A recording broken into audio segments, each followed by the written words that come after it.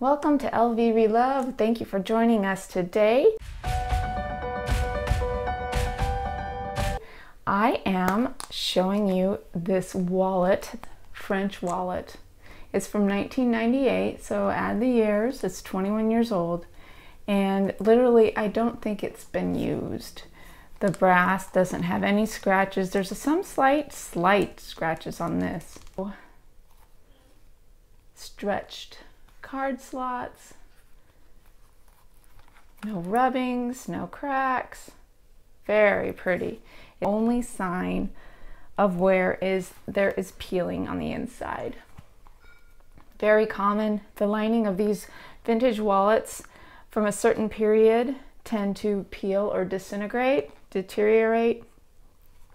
I've already tried to started to clean off this, but see where the white is? That's how it how it peels off. Sometimes it's sticky, sometimes it's not. In this case, it's not. So the wallet is still usable. You can see maybe better in there. There you go. It's still usable and it's gorgeous and it's well made. Like I said, it's vintage. And what to do about this? Well, use it as is or what you can do and and this is the quick method. I've tried others. I've tried rubbing alcohol. I have tried Goof Off or Goo Gone. But the easiest is just acetone or nail polish remover. And you really don't need that much, especially in a wallet of this size and the type of peel it is. It's not the black sticky stuff that's in some of the vintage bags. You don't want to get it on the exterior canvas because it will take off the monogram. But see already, there it is. So you just continue to do that until you're satisfied with how much it's on there. Like I said, it's not gonna it's not gonna affect the use even if you got tired of doing it and stopped here. But with the way it disintegrates together, you can leave the wallet or what I have done on some of these wallets is I have gone through and I have dyed with Fiebing's leather dye the interior to make it more even or more dark. And I've also heard of people using Sharpie. I think that would take longer. Some people can even do this.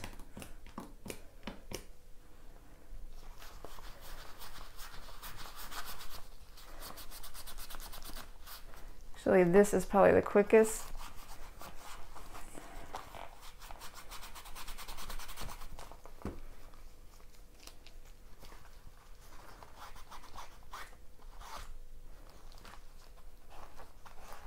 and I prop the inside to dry. If I feel like it's getting too wet, I'll do this and let it dry. You know, acetone dries really quickly. Oops. And then come back at it, or like I said, it's almost done.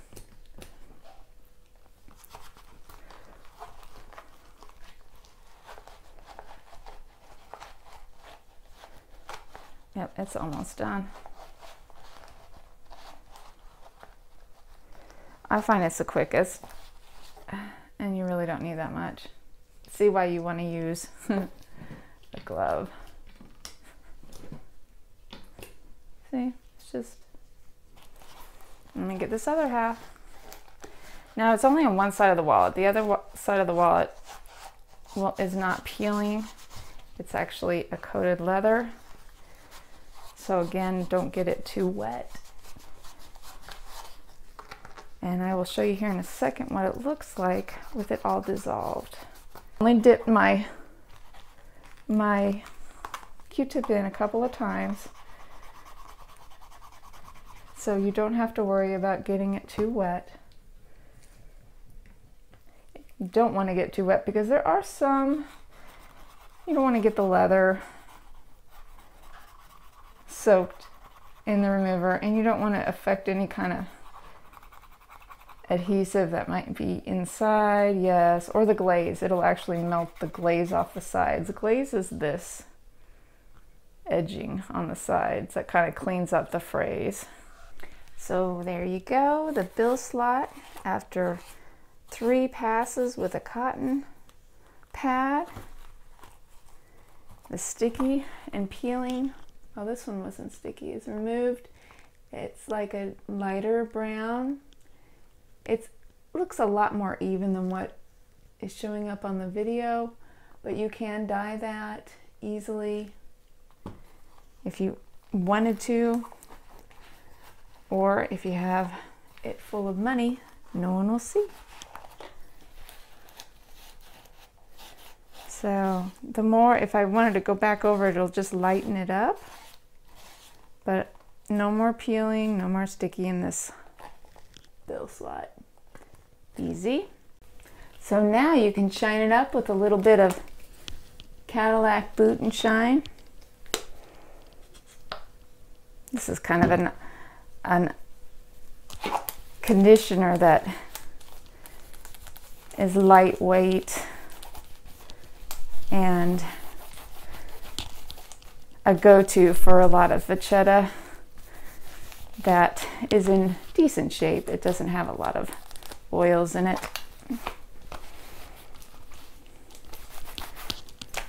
And it shines right up. A lovely French wallet it's 21 years old. Peeling's gone. Look at those card slots. And check out the coin kiss lock. It's super tight, super clean inside. Beautiful wallet. Lasts for many, many more years.